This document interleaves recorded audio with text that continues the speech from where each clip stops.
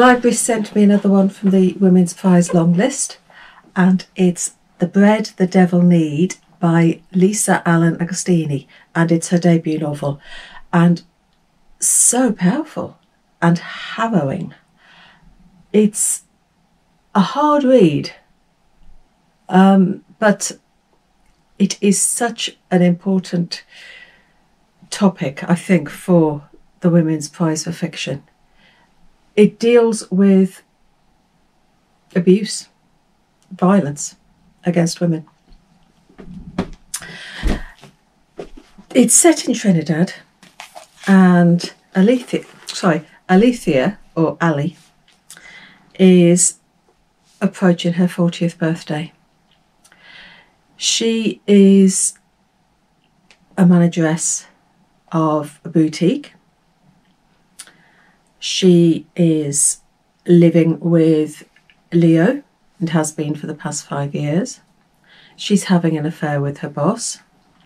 And because the colour of her skin is such that she can pass as white, she almost gets more privileges than other people she works with.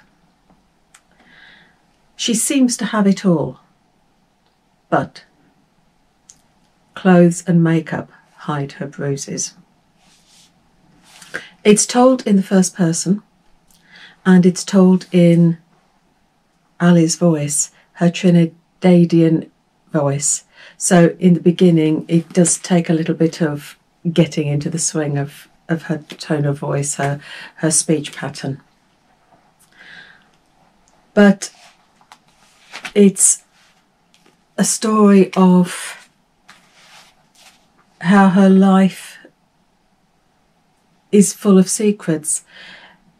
She looks to have it all, but in the society that she's living in, she's unmarried, she's childless, and she doesn't have a close female friend. She doesn't have any friends. So, although she seems to have it all, she's got society against her for those reasons. Her, her life changes almost when a murder happens outside the shop.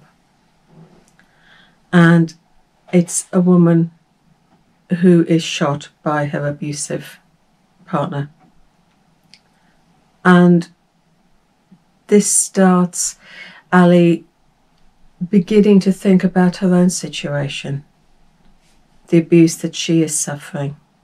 Would it ever escalate into such a situation that she saw outside the shop? She talks about her life and we get secrets revealed. She tells us what she wants to know but she doesn't tell us the secrets. And there are some secrets that she doesn't find out herself until towards the end of the book. There are passages in it that are in the third person. And those are particularly hard because then you are a voyeur you are watching what is happening to Ali and you are powerless to do anything about it. The sex and the violence in here, it is not gratuitous. It's a hard read, but this is the life that Ali is living.